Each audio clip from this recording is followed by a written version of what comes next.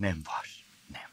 Canı sıkılan bilim insanları yine kedilere sarmış sevgili kedi severler. Kediler insanları devasa bir kedi olarak görüyormuş. Abi bilgisi ortamlarda satılıyordu ara sıra. Şimdi buna e, yeni bir katman daha eklendi. Kediler onları sevmeyen insanlardan hoşlanıyormuş. Toksik ilişkiden yanalarmış. E hani insanları devasa kedi olarak algılıyorlardı? Demek ki aslında kendilerini sevmeyen büyük kedilerden hoşlanıyorlar. Düşündükçe e, insanın kafası bulanıyor. Bu araştırmaların nasıl yapıldığı da ayrı bir muamma. Gidip kedilere mi soruyorlar, nasıl şey yapıyorlar o da belli değil. E, Alice, ben kedi miyim sence? Ben kedi miyim? Bir, bir, bir de sizin DNA'lara bakmışlar. Türkiye'miş şey, kedilerin menbaı. Artık bir salın kedileri, bilim insanları size zahmet. Biraz da başka bir şeylere dadanın. Ne bileyim ornitorenklerle ilgili bir şey yapın ya. Ha? Kedi, köpek zaten canını sıka sıka bu hayvanların. Ha? Hadi bakayım. Evet iyi günler. İndirimli otobüs abonmanı kovalayan ve askerliğini tecil ettirmek isteyenlere kötü bir haberimiz var. Anadolu Üniversitesi Açık Öğretim Fakültesinin kayıt ücretlerine %90'ı aşan zam yapılmış sevgili izleyenler. Yani o indirimi tahsil edecekler sizden gibi görünüyor. Ya yerel yönetime gidecek ya da Anadolu Üniversitesi'ne. Karar sizin. Ama bizce yine de okula bir kayıt yaptırın siz. Kolunuzda altın bilezik olur. Şey yapmayın. Efendim bir yetişkin içerik sitesi Amerika'daki Döner House adlı bir dönerciye logosunu çaldığı iddiasıyla dava açacakmış. Şimdi dönercide ne veriliyor da logoları o kadar benzedi tabii o biraz kafa karıştırıcı. Sloganları da merak ediyoruz ama hep aklımıza gelenler şey tuhaf tuhaf ağza alınmayacak şey cinsel şaka. O yüzden şey yapamıyoruz. Lakin logonun altında yazan gerçek Alman kebabı yazısı dikkatimizi çekti. Pardon, Alman kebabı mı? O nasıl oluyor acaba? Biz hiç Günter dayının yeri ya da Yürgen amca ocakbaşı diye bir şey duymadık. Ülkemizin kısıtlı ne münasebet rezervinden bir kuple alarak tüm Türkiye adına ne münasebet demek istiyoruz. Ne münasebet. Siz hayırdır ya. Bu dibimizdeki cacıkiler bitti bir de siz mi çıktınız başımıza? Sizi uyarıyorum. Biz oraya getirtmeyin. Aslında getirtebiliyorsanız da fena da olmayabilir. Oraya gelsek de mi konuşsak? Versenize şöyle bir green card bu mevzuyu tatlıya bağlayalım. He? Hadi be abi. He? Dilenci değilim. Karşıya geçeceğim. He?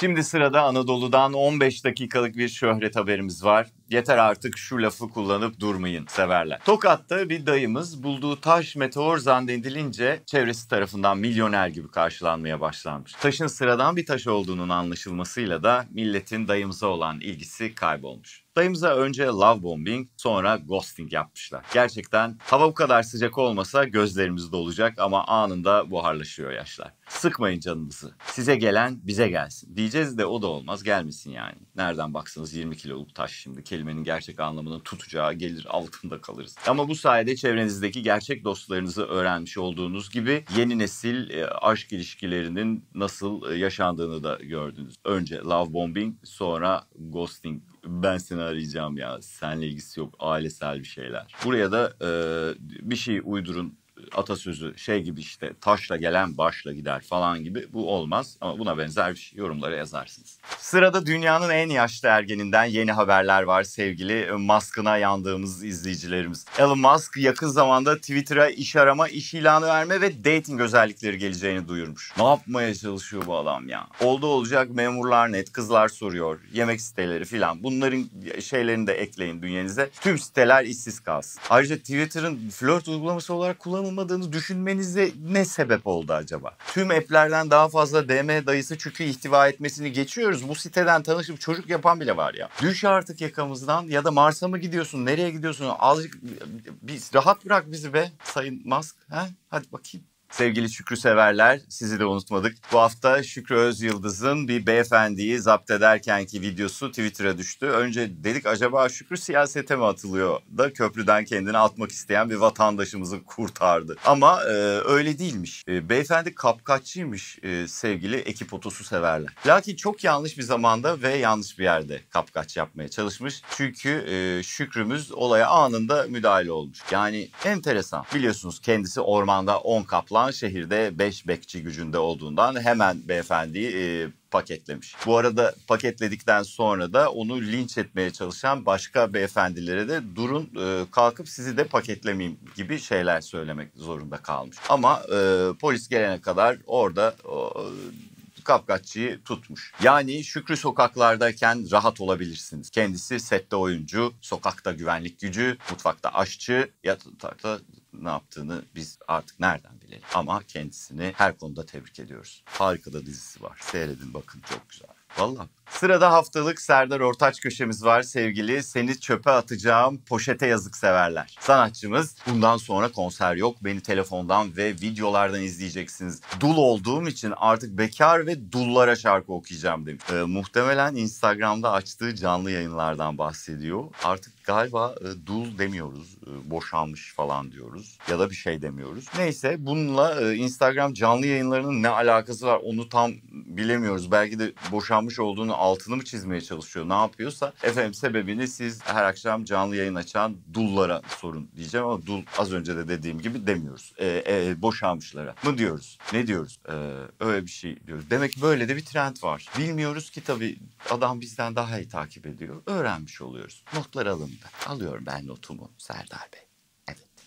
Sevgili izleyenler bu hafta her sene ismi değişen üniversite sınavının yerleştirme sonuçları açıklanmış. Yerleşenler evde, yurtta, okul masraflarıydı gibi sebeplerle buruk bir sevinç yaşarken yerleşemeyenler de ben zaten istemiyordum abi olsun seneye bir daha girerim. Evde tutamazdım bu sene gibi teselliler arasından kendine uygun olanlara götüm götüm yanlamaya başlamış. Sayısal alanda 13 bin başarı sıralaması yapan bir kişi ise ilginç bir tercihte bulunarak çok daha az puanlarla da girilebilen kanatlı hayvan yetiştiriciliği bölümüne yerleşmiş. Sosyal medyada da nasıl yapar, neden yapar tartışmaları başlamış. Artık organik tavuk yetiştirip yumurta mı satar yoksa paçalı güvercin kümesi mi kurar biz de e, tam bilemiyoruz. Ve kimse kimsenin kanatlı hayvan sevgisine karışamaz diyoruz. Genç mi değil mi bu haber ilk e, ortaya düştüğünde bilemediğimiz e, vatandaşımıza sormak istiyoruz. Bilmediğimiz bir geleceği falan var da bizimle mi paylaşmıyorsunuz? Hayır öyleyse bize söyleyin lütfen. Ama zaten sonradan ortaya çıktı ki bu beyefendi aslında tıp öğrencisiymiş ve kimsenin hakkını yememek için daha düşük puanlı bir yer yazmak istemiş. Kendisini bu hassasiyetinden ötürü tebrik ediyor. Sınavda kazanan kazanamayan herkese geçmiş olsun diyoruz. Bir önceki meclis döneminde görev alan ve seçimden önce 3 aylık maaşlarını peşin alan 314 vekilden 310 tanesi tekrar meclise girememelerine rağmen maaşlarını iade etmemiş. Görüldüğü üzere 310 kişi kim ne der bile demeden aldıkları paranın ve kulaklarının üzerine yatmışlar. Vekillikleri sona eren isimlere Nisan, Mayıs, Haziran ayları için toplam ödenen rakam 70 milyon Türk lirasıymış. Bir de üzerine son 2-3 aydaki kur atağını ekleyin böyle bir nabzımız yükseldi değil mi?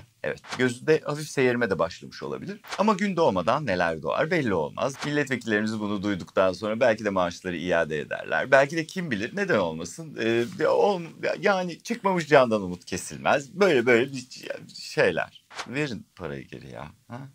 Hadi be. Arnavutluk'ta bir grup İtalyan turist yemek yedikleri restoranda hesabı ödemeden kaçmış. Sonra bu görüntüler viral olunca Arnavutluk Başkanı dahil bütün ülke sağda solda bu 80 euronun lafını etmeye başlamış. Vay bu İtalyanlar hep böyle, vay bunlar bir hesap ödemez şeklinde konuşmalara Arnavutluk Başkanı da dahil olunca olay tabii diplomatik bir krize dönüşmüş. İtalyan Başkanı da bunun üzerine Büyükelçisine dönmüş demiş ki gidin bu embesillerin hesabını ödeyin ve bir açıklama yayınlayın. İtalya saygınlığını böyle yitiremez edemez. Vay be çok iyi demiş ama bu sefer de başbakan kendi ülkesinde eleştirilmiş. Biz her hesabını ödemeyen embesilin hesabını kendi cebimizden mi ödeyeceğiz diyerek başbakana yüklenmiş. Görüyorsunuz 4 tane hıyar İtalya'nın 80 eurosu nasıl mevzu olmuş. Bizde olsa vallahi biz hesabı peşinden şey yapmayız bile ya. Yani tamam 80 euro başımızın gözümüzün sadakası olsun deriz. Yani bu Arnavutlarda İtalyanlarda böyle bir enteresan para hesabına düşmüş. Niye öyle olmuş acaba? Efendim yine garip bir haber. Yine Adana City. Bu sefer motosiklet üzerinden müşterisini tıraş eyleyen berber görüntüleri gelmiş. Bakın iyi izleyin. Artık öyle basit bir berber dayaması söz konusu değil. Motosiklette artık daha kurumsal bir yapı sağlanmış ve video bizi izleyin de ne olursa olsun denilerek sosyal medyaya salınmış. Tabii biz bunu yeni bir şey sanarken Adana'da bu berberin daha acayibinin yıllar önce motosiklette, paraşütte, uçurum kenarında tıraş yaptığını öğrendik. Bici bici içmek mi neden oluyor acaba buna? Yoksa şalgam şırdan derken bir yerde olmaması gereken bazı reaksiyonlar mı gerçekleşiyor? İnanın bilmiyoruz ama Adana sınırları içinde efendi gibi berbere gidip saçını kestiren herkese büyük saygı duyuyoruz. Gördüğünüz gibi hiç kolaya benzemiyor. Bomboş bir haber daha. Hanımlar beyler serbest vuruş bitti.